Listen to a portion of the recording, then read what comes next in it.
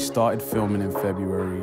We broke. Black Lives Matter happened. I went to London, and I was in Hyde Park marching. It shook me and, and, and, a lot of my Snowfall family to the core. The uncomfortable conversations that people could kind of sweep aside, it was on the tip of everyone's tongue, it was in the front of everyone's brain, and it was on a lot of people's heart. Systemic racism is all around us. I think it's around all society and it can't be ignored anymore. America is racist, down, you know, to the wax between its toes. That racism, it piggybacks on the notion of capitalism because money makes the world go round. The black community is saying that we feel responsible for this notion of being somehow the burden of society because of how you get treated. All of these little reminders that we get every day, they tally up to something. People of color put on masks every day. The mask is a smile.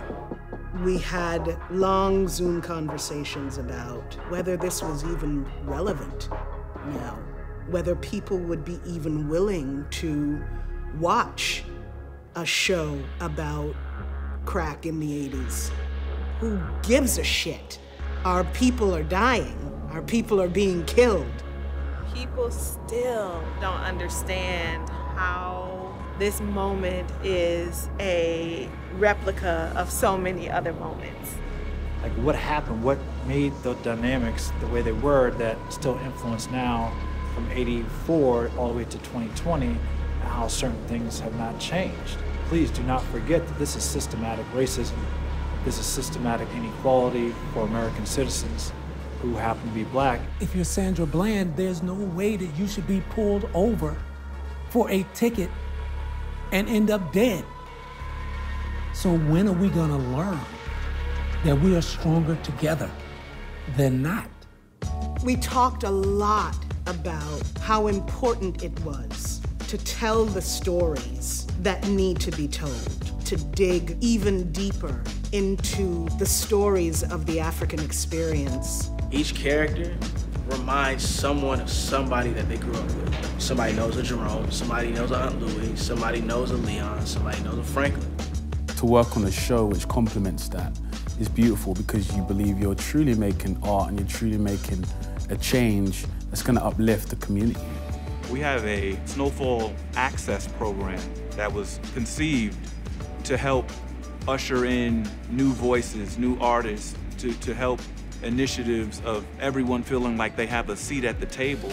There are PAs, there are actors who are just starting out who might want to direct, um, who might want to write, who might want to be producing their own shows at some point. Well, we have some pretty wonderful directors, writers, producers, set designers sitting around, so why don't we go ahead and put together a program where we offer everybody in the Snowfall family a chance to get on a Zoom on the weekend and we have somebody sit there and give a course on here's how I got there you know, here's where the passion started, and here's how you kind of fan the flames, and here's how we get that first break. I typed the sentence, which is on hot, sticky days in southern Louisiana, the fire ants swarm. I was 34. I said, wow, that's that sounds like it could be a, a book, a novel, a story, something. So I said, I'm going to start writing. And so I did. The more diverse group of people that you bring together for one common goal, the better the story is going to be, the better the show is going to be. I challenge anybody to, to show me a more diverse crew with more people of color in department head positions. It doesn't matter who you are, what, as long as you are talented and you want to work hard, you're welcome to come to Snowfall. It is something that John insisted upon. Who, who gave people more chances than John Singleton. And to see that he left a legacy and that the stewards of that legacy, the people that are still with us, that this production is still maintaining an integrity to not just the story, but the people that tell the story.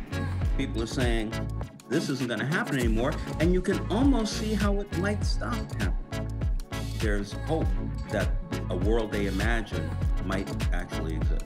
Uh, I just wanted to say it's been an honor working with you guys. You guys are extraordinary. You're the best cast in the world. Uh, beautiful, beautiful people. So I just wanted to, right now, show that love. Oh, wait, let's look at the teeth. Diffuses. Yeah. Go smile. I got I'm you. still on him. Yeah, yeah, yeah. It really is about people. It's about community.